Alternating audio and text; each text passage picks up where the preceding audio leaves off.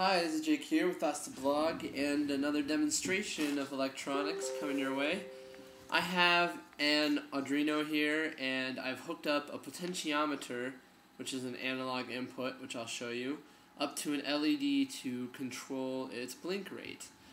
So you can see it's working right here, the LED is blinking, the potentiometer is right here, and it's essentially a twisting action. And as I twist it, you can see the blink rate of the LED getting slower. And if I twist it in the other direction, the blink rate goes faster. So it's a pretty fun little setup. Um, just reads an analog input, which is from the potentiometer, goes through the Arduino, and then passes back up to pin 13 for the LED. I will uh, show you the code. It'll be included in the post, probably right below this video.